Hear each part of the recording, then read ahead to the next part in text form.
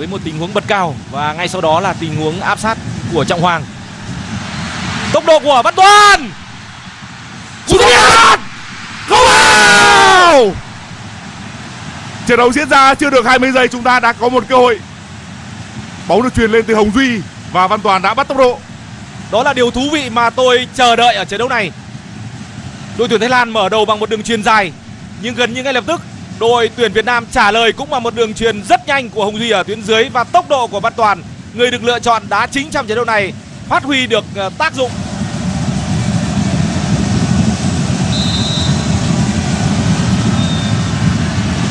Và phạt góc ở tầm thấp. Tuyến hai dứt điểm. Rất tiếc là bóng đi quá bồng. Cú đá của Tuấn Anh.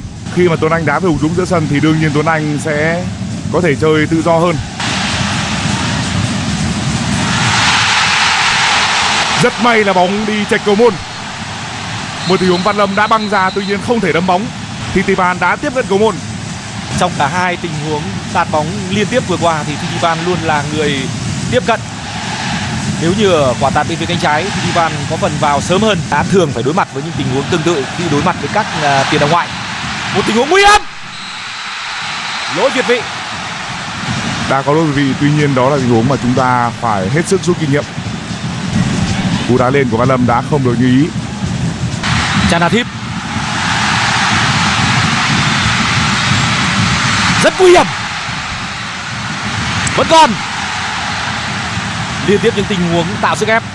Cầu thủ đang chơi cho Bong Thong. Chúng ta xem lại pha dứt điểm góc hẹp của Titipan đây là cầu thủ rất toàn diện. Văn Toàn tiếp tục dẫn vào. Chuyền ngang không được. Vẫn còn, Quang Hải vẫn không được. Tiếp tục là công phượng. Đường chuyền dành cho Văn Toàn trình bóng dứt điểm. Rất tinh đâu đối mặt.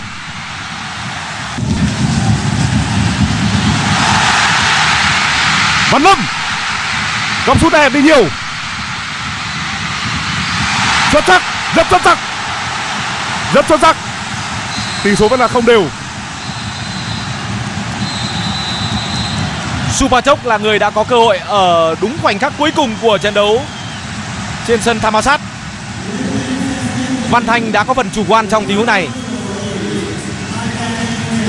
Tình huống băng ra đầu tiên của Văn Lâm là hợp lý. Và ở khoảnh khắc cuối cùng quan trọng nhất, Văn Lâm vẫn đứng đúng chỗ. Rất may cho đội tuyển Việt Nam.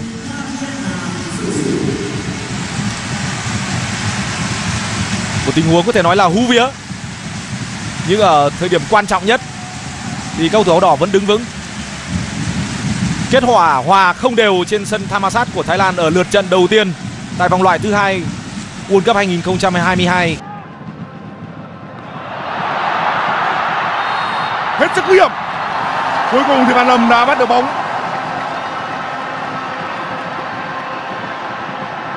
Quả phạt lên, thẻ vàng dành cho trung vệ của đội Malaysia.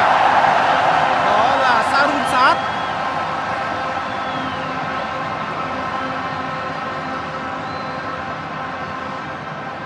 Sarusat vừa rồi đã phản ứng và lập tức phải nhận thẻ vàng của trọng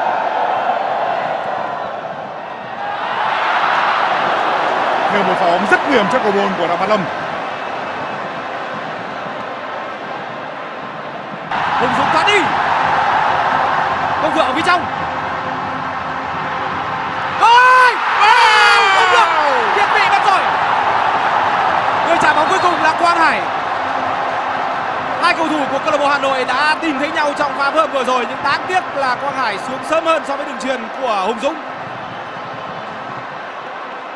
rất tiếc là trợ lý trọng tài người Iran Aline Zadian đã căng cờ báo quý vị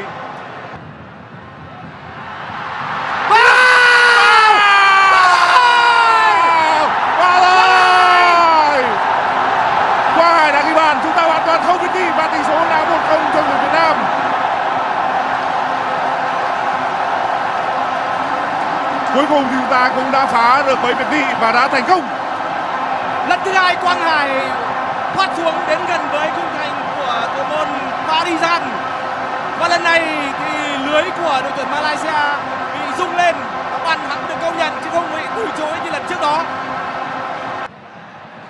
Quang hải. Văn toàn tốc độ của văn toàn. Rất nhanh tiếp tục uh, xâm nhập. Trọng hoàng tuyến đây. Không vào. Cú trả bóng cuối cùng là của anh đức. Anh Đức đã lên tiếng. Lão tướng Anh Đức suýt nữa nâng tỷ số trận đấu lên 2-0 điều mà anh đã làm ở trận đấu tại vòng bảng cách đây gần một năm. Không có bàn thắng cho đội tuyển Việt Nam ở đợt tấn công vừa rồi nhưng một lần nữa chúng ta cần phải ghi nhận sự đĩnh đạc của đội bóng áo đỏ. Quang Hải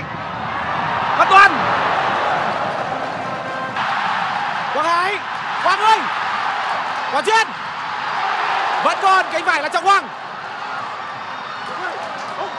Bóng vào trong cuộc. Tiếp tục là pha chạm bóng của Quang Hải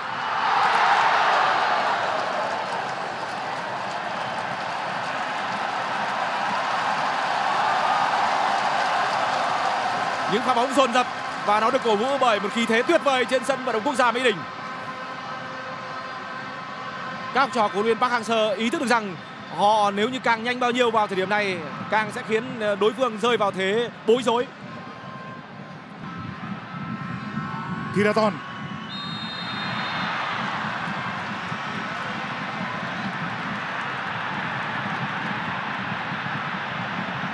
Như vậy là đã có một tình huống thổi phạt penalty.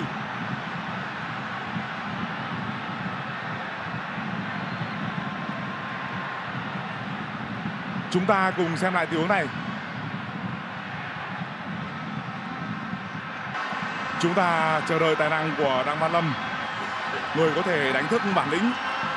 Và anh đối mặt với tiraton từ chấm 11 mét Không vào! Quá đua là Văn Âm! Quá đua là Văn Âm! Rõ ràng là Kiraton rất căng.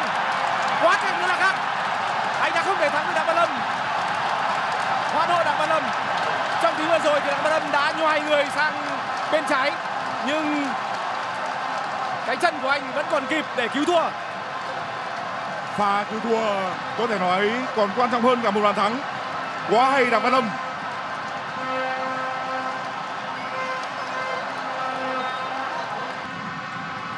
Quang Hải đá phạt góc.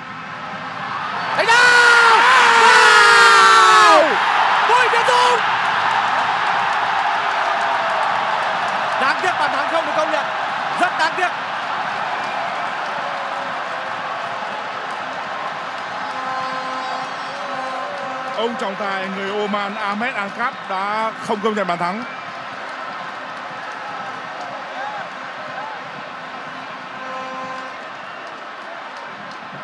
Huấn luyện viên Park Hang-seo tỏ ra thất vọng chúng ta cùng xem lại.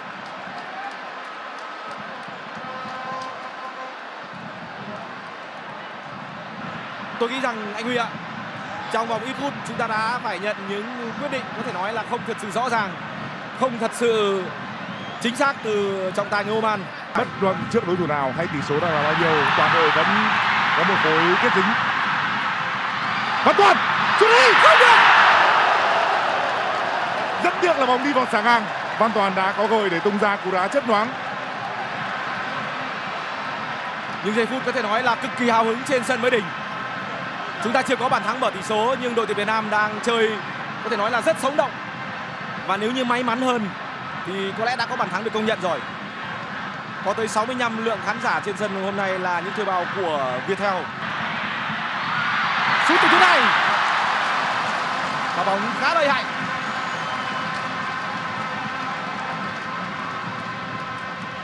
lần đầu tiên trong trận đấu Thái Lan có cơ hội để tung ra một cú đá miếng đánh rất quen thuộc của Thái Lan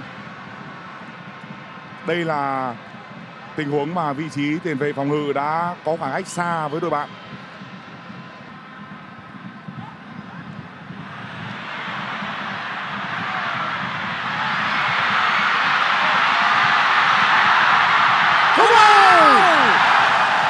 Chúng ta đã rất nỗ lực cầu thủ đã lan xả để cứu thua. Pha bóng cứu thua cuối cùng là của Đoàn Văn Hậu. Bằng sự lạnh lùng của mình, cầu thủ Thái Lan đã đưa trái bóng đến rất gần với khung thành của Đặng Văn Lâm. Đầu tiên là pha cản phá của Đặng Văn Lâm. Cú đá trượt tiếp theo. Và ở tình huống cuối cùng thì Narubatin đã không thể thắng được và chơi bóng có thể nói là cực kỳ bản lĩnh của Đoàn Văn Hậu. Trọng Hoàng. Rất tốt. Trọng Hoàng. Không vào. Thì trong Quang Hải. Dứt điểm. Đánh đầu một không dành cho đội tuyển Việt Nam tỷ số được mở và đó là Đỗ Duy Mạnh. Và thêm một lần nữa thì một cầu thủ nơi hàng phòng ngự của chúng ta đã lên tiếng. Trận trước là đường truyền của Quế Ngọc Hải để cho Quang Hải ghi bàn. Còn trận này, Quang Hải là người chuyền bóng, Đoàn Văn Hậu đánh đầu rồi sau đó người dứt điểm cuối cùng là Duy Mạnh. Một pha bóng cho thấy sự lúng túng trong khâu phòng ngự của đội tuyển Indonesia. Chúng ta cùng xem lại bàn thắng mở tỷ số của Đỗ Duy Mạnh cho đội tuyển Việt Nam.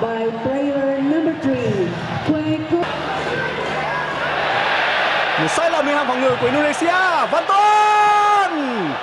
Văn Tuấn. Có thể dứt điểm. Quay. Một pha phối hợp hay xuất phát từ sai lầm của Basna. Rõ ràng Indonesia là một đội bóng rất lung túng và dễ bị suy sụp sau khi để tuyển thủ ghi bàn. Một phút là thời gian bù giờ cho hiệp đấu thứ nhất. Cú đá khá nguy hiểm. Vòng rất nhiều vào chiều cao 1m90 của Dutra. Khá nguy hiểm. Trọng Hoàng. Hùng Dũng. Hùng Dũng. Tuyệt vời. Penalty. Quả đá penalty dành cho đội tuyển Việt Nam. Và Hùng Dũng đã nhảy múa với trái bóng trong vòng vây của cao thủ Indonesia. Matt Kỳ đưa ra chúng ta cùng xem lại một lần nữa pha đột phá dũng mãnh và cực kỳ kỹ thuật của Đỗ Hồng Dũng quả penalty là khá rõ đó là pha phạm lỗi của cầu thủ đội trưởng Basna Basna tranh chấp rất quyết liệt nhưng không đúng thời điểm và vị trí một chút nào cả còn đây là tình huống mà chúng ta thấy được cơ hội để đội tuyển Việt Nam nâng tỷ số lên 2-0 và người sẽ đứng trước cơ hội này là trung vệ đội trưởng Quế Ngọc Hải. Quế... tỷ số dễ dàng được nâng lên 2-0 cho đội tuyển Việt Nam trên sân Captain Gita giống hệt như cú đá penalty vào lưới Yemen tại Asian Cup, và thêm một lần nữa thì một cầu thủ đã phòng ngự khác của đội tuyển Việt Nam đã lên tiếng ở trận đấu ngày hôm nay. Goal for Vietnam by player number với đội tuyển Việt Nam dưới thời huấn luyện viên Park Hang-seo thì bàn thắng có thể đến từ bất kỳ vị trí nào có thể được ghi bởi bất cứ cầu thủ nào. Tiền đạo có thể không ghi bàn nhưng đó không phải là điều quan trọng nhất. Điều quan trọng là chúng ta có được bàn thắng và như huấn luyện viên Park. Liệt và Trọng Hoàng cùng với đội đội của mình là người chiến thắng. Cơ hội dành cho Tiến Linh dễ dàng dành cho Tiến Linh với pha đối mặt vừa rồi. Nhưng công đầu tiên phải kể đến Trọng Hoàng với một pha xử lý đầy nỗ lực và kiến tạo cực kỳ thông minh. Có lẽ là bây giờ chúng ta sẽ chỉ việc đếm mà thôi. Một hai và bây giờ đã là ba rồi. Tôi nghĩ rằng sau bàn thua sau bàn thua thứ ba vừa rồi Trọng Hoàng ít phút trước đó đã thực hiện một cú chọc khe cho Văn Toàn và bây giờ anh tiếp tục thực hiện một đường truyền như vậy dành cho Tiến Linh. Tí Linh cũng đã có một pha chạy chỗ phá với đường vị rất hay. Một lần nữa chúng ta lại khai thác vào điểm yếu đó là sự chậm chạp của bộ đôi trung vệ uh, Basna và Otavio Dutra bên phía đội tuyển Indonesia. Tiến... Rico cơ hội cho các thủ Indonesia Đó là số 8 dứt điểm như vậy là đã có bàn thắng rút ngắn tỷ số cho các thủ Indonesia các lập công của cầu thủ mới vào sân Irfan Goal for Indonesia by player number 17, Irfan Bahdim. hàng phòng ngự của đội tuyển Việt Nam lần đầu tiên bị khoan thủ ở vòng loại World Cup Substitution for 2022. Indonesia, pergantian pemain untuk Indonesia. Keluar nomor Một pha punggung bóng đi đậm 9 dấu ấn cá nhân của Rico. Masuk nomor punggung 12 Le Cơ hội dứt điểm. Thêm một cơ hội được dành cho Quang Hải. Và đó lại là một tình huống penalty. Họ đã được kỳ vọng rất nhiều. Quyết định chính xác của ông Tuki Mohamed. Một tình huống xử lý rất cầu thả của Ôn Anh ở trong trận đấu xuất sắc ngày hôm nay của tiền vệ mang áo số 16 đội tuyển Việt Nam. Không thể có bàn thắng dành cho Đỗ Hồng Dũng. Uh, Điểm nhấn cuối cùng của cuộc so tài này chính là quả đá penalty của Đỗ Hồng Dũng. đường truyền của Duy Mạnh Trọng Hoàng ơi Trọng Hoàng rất đáng tiếc pha bóng thực sự đáng chú ý đầu tiên trong trận đấu. Chúng ta đã tấn công được xuống cánh phải. Ở trận đấu trước UE cũng bị Thái Lan khai thác khá nhiều ở những pha tấn công biên. Chắc chắn ông Park Sơ biết điều này. Trọng Hoàng đi qua, lão tướng 34 tuổi, Yusuf Jabe. Những vị trí hậu vệ biên của đội tuyển các tiểu vương quốc Ả Rập thống nhất vẫn là những vị trí không được đánh giá cao. Đường truyền là của Trọng Hoàng. Hùng Dũng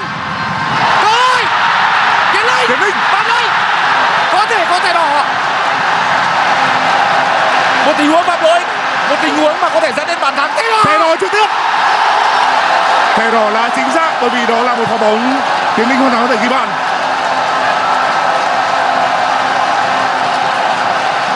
Không cần phải tranh cãi gì nữa với những pha phạm lỗi như vừa rồi. Rất nhiều những tình huống trước đó chúng ta bám biên nhưng pha bóng gần nhất một pha bóng rất bất ngờ. Đã có một đường xẻ bóng ở tầm thấp thẳng vào khu trung lộ. Đó là vị trí mà tiến linh đã sẵn sàng.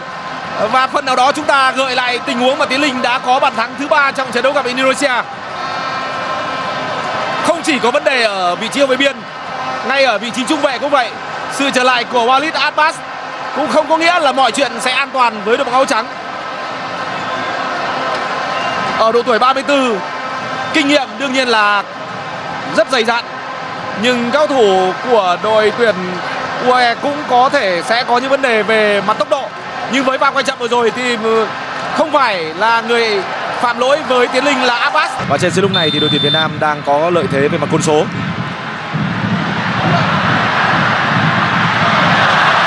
Rất may đội bạn sút trượt. Sơn Mai Kaler đã tài trợ phát sóng chương trình này ngộ một không cho Việt Nam đúng là không thể lường trước những tình huống ghi bàn thế từ Van Sơ một cú sút ra đầy bất ngờ và táo bạo.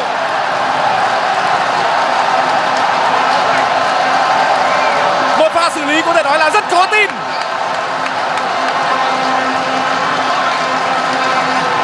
Tất cả đều có thể thăng hoa trong bầu không khí đặc biệt như thế này.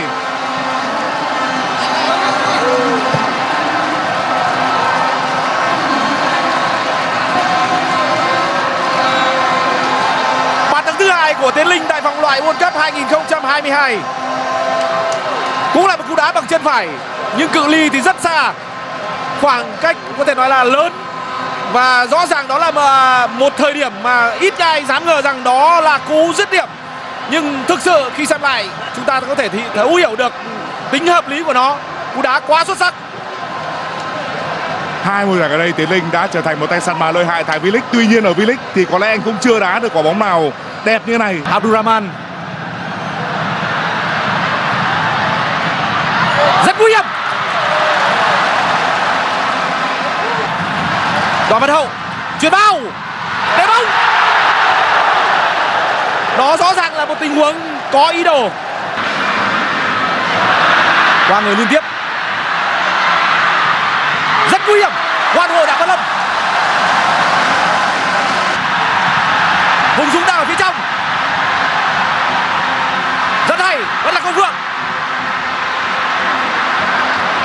Đáng cho sự bình tĩnh của công phượng.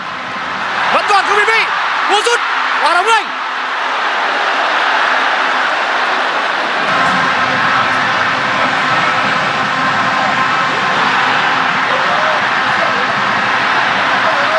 sút bóng. Không vào. Suýt nữa tỷ số được đưa lên 2-0 Công Phượng đã bình tĩnh cầm bóng để truyền cho đội. Quang Hải là người dứt điểm.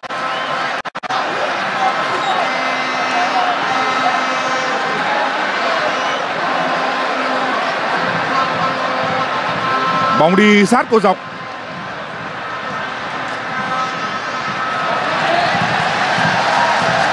Việt Nam sẽ tạo ra từ quả đá phản công của Quang Hải. Sút xa! rất có ý đồ Đó thực sự là một tình huống mà đội tuyển Việt Nam gây ra nhiều bất ngờ cho Indonesia. Một cú vô lê cực kỳ đẹp mắt, cực kỳ quyết liệt. Trọng tài phải đến bây giờ mới thổi còi Đó chắc chắn là một pha bóng triệt hạ. Trước đó thì Quế Ngọc Hải đã phải diễn tả lại pha phạm lỗi ác ý của đối phương và lần này đến Văn Thành. Tôi nghĩ rằng lúc này thì trọng tài cần phải có những bài học dành cho những cầu thủ của Indonesia nếu không thì những pha bóng như thế này sẽ vẫn còn tái diễn. Đó là một cú đạp vào gầm giày. Nếu như Tuấn Anh không kịp thu cái chân của mình lại thì không biết chuyện gì đã xảy ra. Trong pha vào bóng rất ác ý vừa rồi cũng mang lại những quả đá phạt góc chất lượng. Đấy đâu! Không vào! Số trường! Không vào! Hồng Duy, tiến lên, Tiến lên! Tiến lên.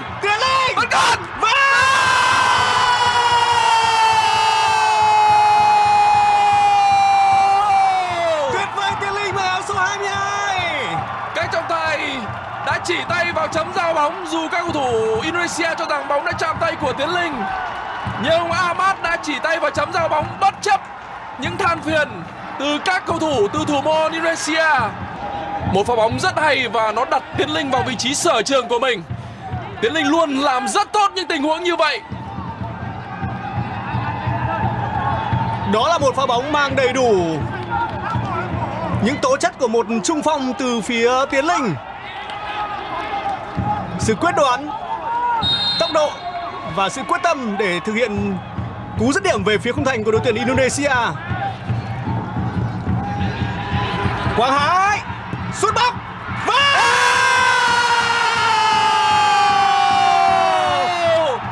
Tuyệt vời Quang Hải! Tuyệt vời sự Quang khẳng Hải! định, sự khẳng định của Quang Hải nói riêng và đội tuyển Việt Nam nói chung. Và đó là sự xứng đáng hoàn toàn cho những gì mà chúng ta đã thể hiện ở trận đấu này. Lần này thì thủ thành Agua hoàn toàn tâm phục khẩu phục với cú ra chân của Quang Hải. Lại là Dubai. Và dấu ấn Quang Hải lại xuất hiện.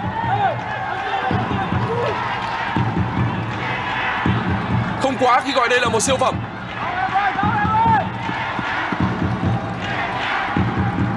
Một cú đá đưa bóng kim thẳng vào góc xa khung thành của đội tuyển Indonesia.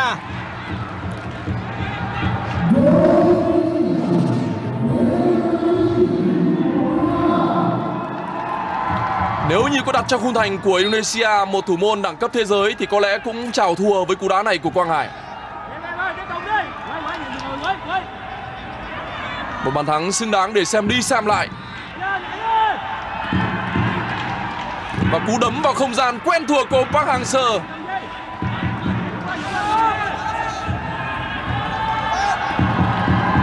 Quả đá phạt của Xuân Trường. Công Phượng đã có bàn thắng. Trọng tài đã chỉ tay và chấm ra bóng và bàn thắng thứ ba dành cho chúng ta. Tất cả những màn ăn mừng của đội tuyển Việt Nam trong trận đấu ngày nay đều đẹp như cái cách mà họ làm tung lưới của đội tuyển Indonesia vậy. Duy Mạnh cũng đã để lại một hình ảnh ăn mừng cực kỳ ấn tượng khi ghi bàn mở tỷ số trong trận lượt đi và hôm nay một hình ảnh cực kỳ ấn tượng của Công Phượng và các đồng đội cũng đã xuất hiện. Chúng tôi đã nói là có bàn thắng thứ hai thì bàn thắng thứ ba có thể cũng sẽ đến và nó đến rất nhanh, nhanh hơn cả mong đợi. Cú chạm bóng của Tiến Linh và Công Phượng như được ừ, lựa chọn để trở thành tác giả của bàn thắng thứ ba. Anh có mặt ừ, đúng chỗ và dứt điểm đúng nhịp để khiến Indonesia phải nhận bàn thua thứ ba. Và thêm một lần nữa thì Xuân Trường tỏa sáng với quả kiến tạo từ cú đá phạt góc rất có ý đồ của mình. Luôn thi đấu rất hay.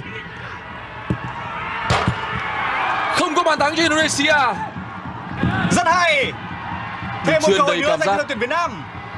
Và thành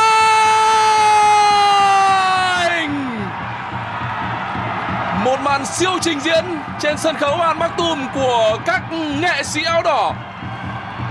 Chúng ta đã vượt qua những khó khăn, Những thách thức đến từ những võ sĩ áo trắng ở trong hiệp 1 Và giờ đây, khi An Tùm trở lại là một sân khấu bóng đá, Thì thực sự các cầu thủ của chúng ta đang thăng hoa. Những khoảnh khắc của Quang Hải đã làm bùng nổ tất cả. Và lần này đến lượt Văn Thành gọi tên tất cả chúng ta và tất cả chúng ta cũng hô vang tên anh với một cú cứu lòng hoàn hảo Đội tuyển Việt Nam không chỉ ghi bàn mà còn ghi những bàn thắng cực kỳ đẳng cấp. Và cùng với đó thì những pha bay người rất đẹp mắt của người chiến sức khung thành đội tuyển Indonesia lại càng tô điểm thêm cho những pha lập công như vậy. Và đây là ông Park Hang-seo. Luôn là những cảm giác về những hành động xin phép được dùng từ đáng yêu từ phía vị huấn luyện viên này. Công Phượng quyết định đi bóng. Công Phượng. Nguy hiểm. chuyển rất hay không hề có lỗi việt vị căng ngang Gol! rất tiếc cho tiến linh Và lần này liệu kịch bản đó có lòng hay không? Cơ hội. Đánh đâu? đó là tiến linh Lại là Tiến Linh. Bàn thắng thứ tư của anh ở vòng loại FIFA World Cup năm 2022. trận đấu thứ hai liên tiếp tiến linh là người mở điểm cho đội tuyển việt nam cách đây ít phút thì tiến linh đã bỏ lỡ một cơ hội vô cùng đáng tiếc nhưng giờ thì anh đã không lặp lại điều đó nữa Vâng và rất trùng lập khi người kiến tạo cho Tiến Linh không ai khác lại là Đoàn Văn Hậu. Trước đó Văn Hậu đã tạo ra một cơ hội 10-10 để Tiến Linh mở tỷ số nhưng anh đã bỏ lỡ nhưng lần này thì không. Văn Hậu đã không cá nhân, anh đã không đánh đầu thẳng về phía khung thành của đối phương mà thực hiện một pha đánh đầu kiên tạo dành cho đồng đội. tuyệt vời Quá tuyệt vời. Hoàn toàn xứng đáng. hệ thống phòng ngự của đội tuyển Malaysia đã hoàn toàn đánh tơi bời ở, ở ờ, tình huống này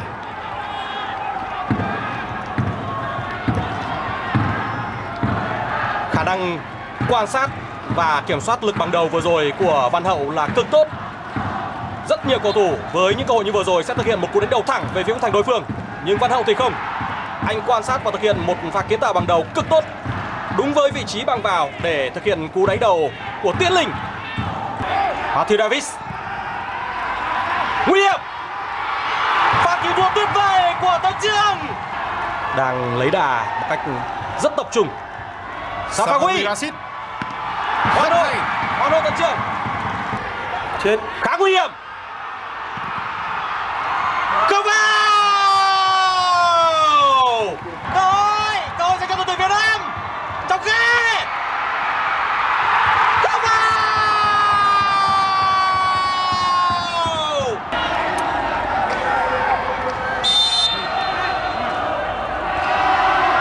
Và Bùi Tấn Trương. Cú sút quá tốt. Tấn Trường đã đoán đúng hướng.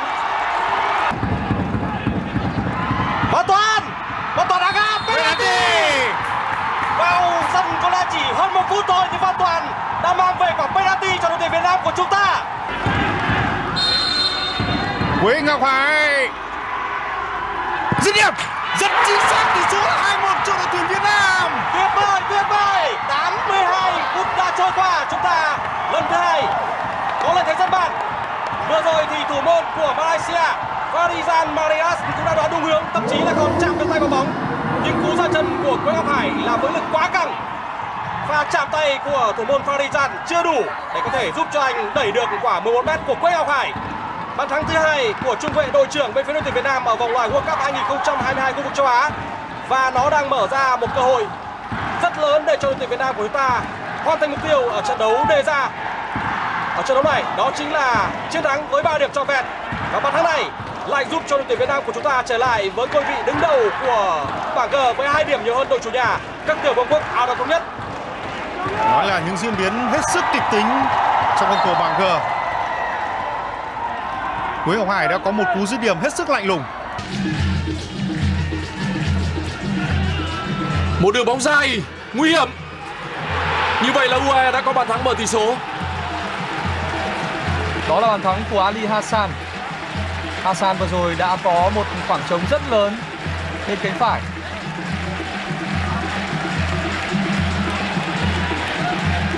Đây mới là phút thứ 32 của trận đấu và thời gian còn lại vẫn còn rất nhiều.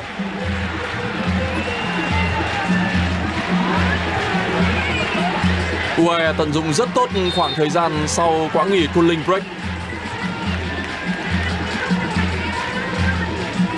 Đó là một pha chuyền bóng hay của Abdullah Ramadan. Và Ali Hassan đã không bỏ lỡ thời cơ. Đây là một cú dứt điểm chất lượng. Mắc hút vào tấn trường. Đó là một cú đá bình tĩnh của số 7 đội chủ nhà. Có khả năng tấn công tốt hơn. Cao Phương vẫn là Công Phương. Cơ hội dứt điểm.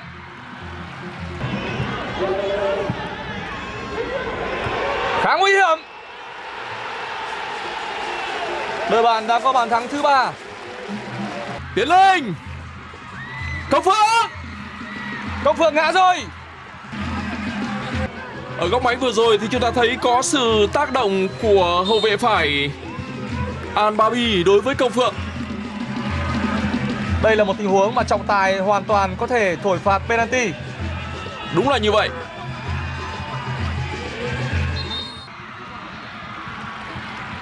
Tiến Linh Minh Vương!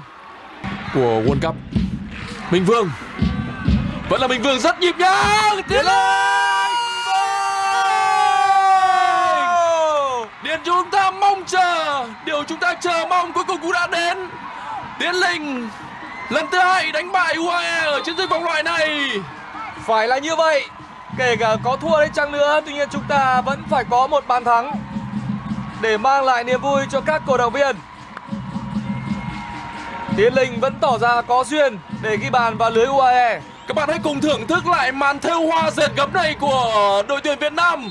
Minh Vương Quang Hải, Minh Vương, Tiến Linh. Một loạt những tình huống phối hợp nhanh, nhuyễn và xuất sắc Được kết thúc bằng cú chạm bóng tinh tế của Tiến Linh Quá hay Một pha phối hợp xứng đáng được đưa vào sách giáo khoa